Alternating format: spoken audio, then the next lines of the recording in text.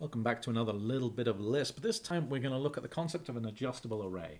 An adjustable array, quite simply, is one that can be resized at some point after it was created. So we can see here that A1 contains an array which has size 0, so we can put nothing in it. It has no room for anything to go in, but it is adjustable.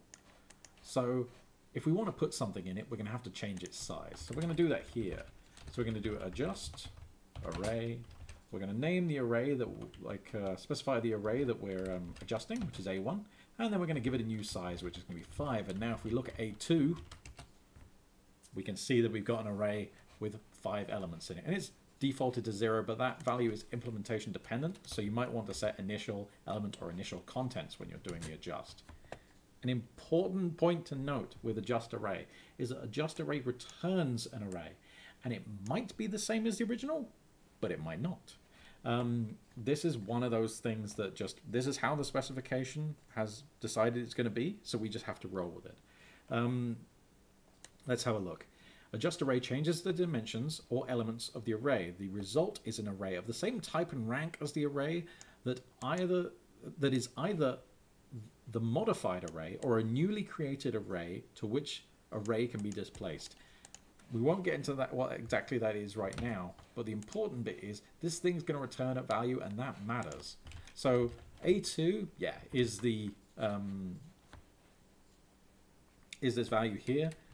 A1 has also been modified. So in this case, the implementation has um, modified that existing array, but it doesn't have to be that case. So it's worth reading up on that point and understanding it. But now we've done this, um, let's put some values in there. So I've got a couple of test value. Let's do this actually. Let's just make it up. So aref um, a2 or a1, it doesn't matter in this case. We're going to take the first element, we're going to set it to 10, and I didn't type that right, did I? a2, there we go. And we're going to set, let's say, the uh, um, fourth element in there to be 20, and then we're going to look at our array again. So let's look at a2. Come on, we can type it. There we go. So now we can see um, we've got there's five elements 0, 10, 0, 20, 0. We could adjust this again, right? So let's um, adjust this, but this time we're going to set the length back to 2. Let's change this, look at A2, and now we can see that this array only has 0 and 10. So we've retained the elements, but the size has changed, and everything that was beyond that point is now gone. So that's all we're going to do with adjustable arrays for today, but we'll come back to this in a lot more detail another time. Thanks for stopping by.